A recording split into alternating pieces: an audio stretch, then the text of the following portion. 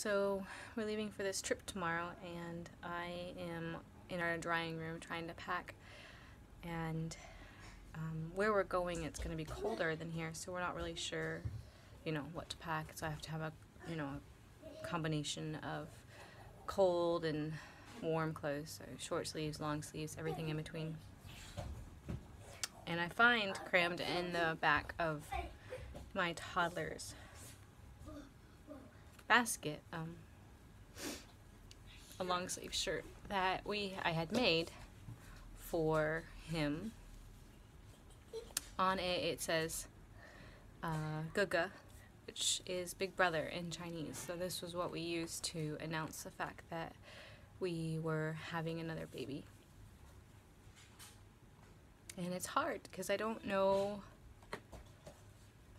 you know what to do with it because he can't wear it, right? He's not He's not a Gege anymore.